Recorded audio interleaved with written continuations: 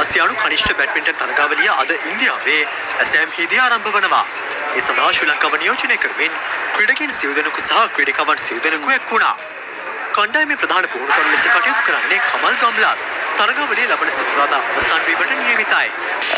අපි ගොඩක් ප්‍රක්ටිස් කරා අපේ කෝචස් අපිට ගොඩක් මහන්සි වෙන හැමදාම අපි මම බලාපොරොත්තු වෙනවා කොහොමද ලංකාවට ගෝල් මෙල්ලයක් අරන් එන්න. සමස්ත ලංකා පාසල් බැට්මින්ටන් තරගාවලිය සුපර් ඒ කණ්ඩායමේ ශූරතාව හිමි කර ගැනීමට මොනටු ශාන්ත සෙබස්තියන් විදුහල සමත් වුණා.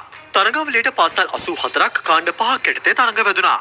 සුපර් ඒ කාණ්ඩේ අවසන් තරගය සඳහා සුදුසුකම් ලැබුවේ කොළඹ ආනන්ද විද්‍යාලය සහ මොනටුව ශාන්ත සෙබස්තියන් විද්‍යාලයයි. එහි ශූරතාව හිමි කර ගැනීමට ශාන්ත සෙබස්තියන් විද්‍යාලය සමත් වුණා.